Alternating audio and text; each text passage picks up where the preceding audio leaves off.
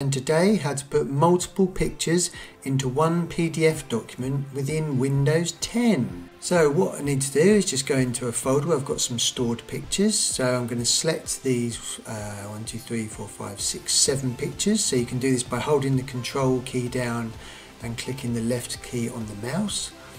And then the right click on the mouse once you've selected them all and select the print option and it should be defaulted to your printer. So what you need to do is just select this. I'm Just going to show you've got the photos here. Select this here and select the Microsoft Print to PDF option. Now this is currently going to print um, one picture on each page. So let's do this one first and then after that we'll print them print multiple pictures on one page.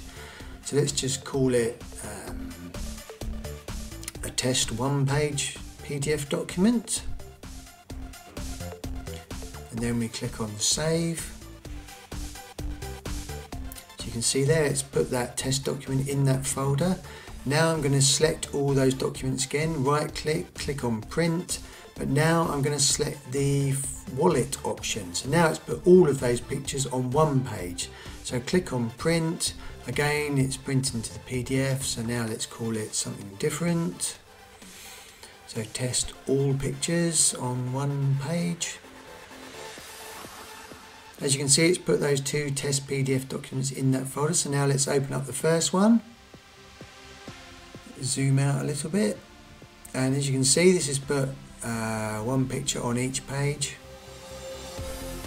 Obviously, you can play around with the formatting, uh, you know, rotate things, etc. And this is the test 2 document, which is all of the pictures on one page and that's it really. So nice and simple job in Windows 10 so hopefully that's helped somebody out there. That is the end and thank you for watching. Cheers